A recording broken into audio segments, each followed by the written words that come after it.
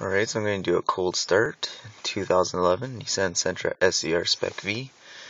It's got AMSOIL XL5W30 and a royal purple oil filter as well as a K&N air intake. Stock uh, Nissan manual transmission fluid. For neutral, flick it on, turn off the fans. Temperature is only reading negative 16.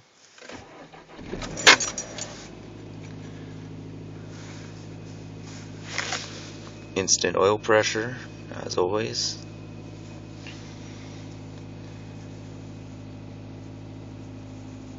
I'll let off the clutch here. Nice and slow.